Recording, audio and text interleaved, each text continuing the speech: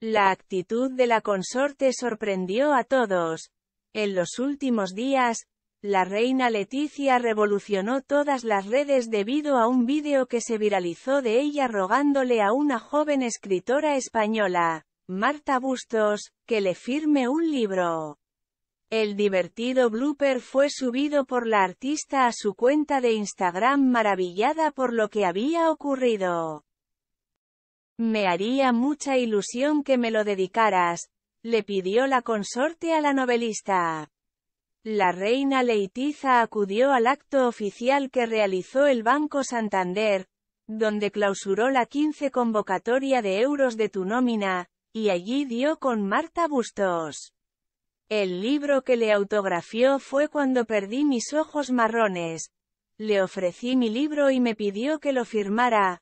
Posteó la autora junto a la filmación en su cuenta de Instagram y se viralizó al instante. No es la primera vez que la soberana se comporta como una fan. Ya había ocurrido lo mismo cuando conoció al actor Chris Hemsworth en su paso por el programa El hormiguero. La reina Leticia es una amante de la literatura, por lo que no se quiso perder la oportunidad de que Marta, me haría mucha ilusión que me lo dedicaras.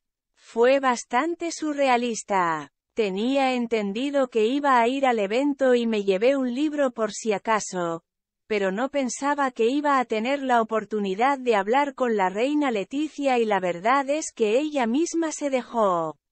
Sé que es una gran lectora, comentó Marta Bustos al medio Europa Press. La saludé, le ofrecí el libro y le dije que me encantaría que lo tenga porque me parece que es súper completo y la reina Leticia me preguntó si se lo había dedicado, pero no lo había hecho porque no sabía si la vería, explicó Marta Bustos llena de alegría, luego de darle una copia de una de sus obras a la soberana. Fue surrealista. Me llevé un libro por si acaso, pero no pensaba que iba a tener la oportunidad.